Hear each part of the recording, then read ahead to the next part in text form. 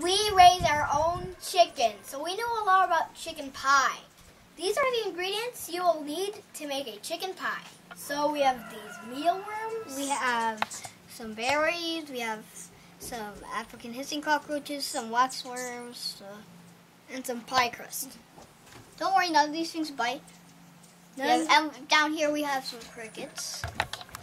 But nothing here bites, especially the berries. They don't bite. Wait, mealworms are delicious too. Oh wait, oh wait. You can eat them. They they can taste like free things. They can taste like nothing. They can taste like Spicy cheese. or chicken.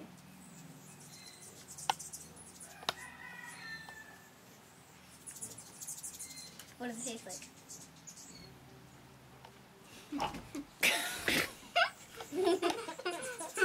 now let's get started and, and make our own chicken pie.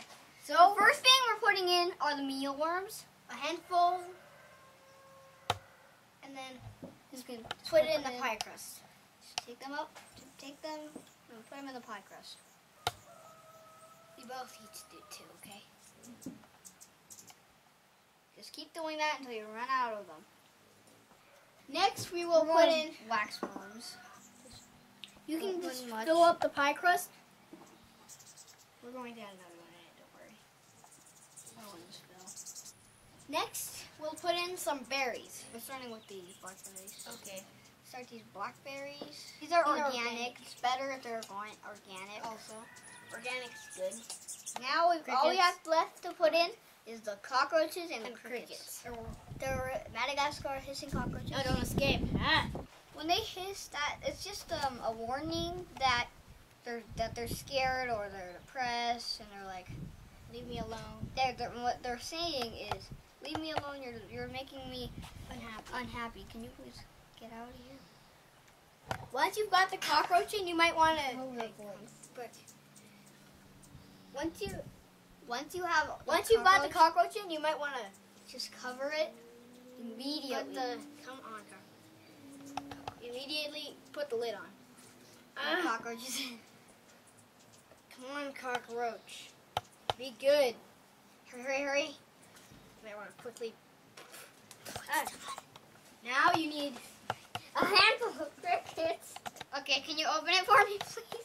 Ready? Roman. Yeah, you can pinch the edges to make it pretty. You know, just pinch the edges. Now it's time to serve the chicken pie.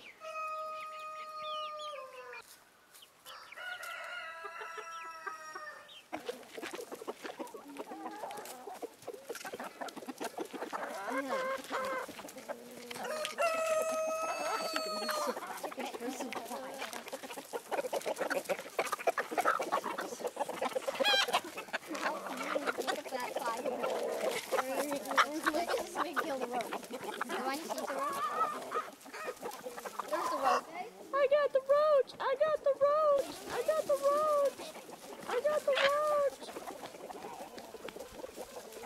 is how you make and serve chicken pie.